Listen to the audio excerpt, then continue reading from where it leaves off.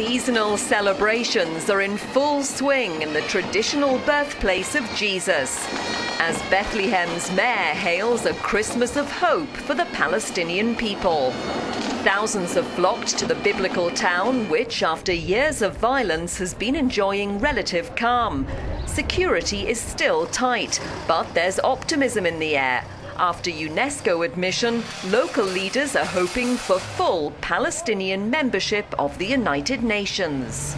We are celebrating this Christmas hoping that in the near future we'll get our right to self-determination, our right to establish our own democratic, secular Palestinian state on the Palestinian land.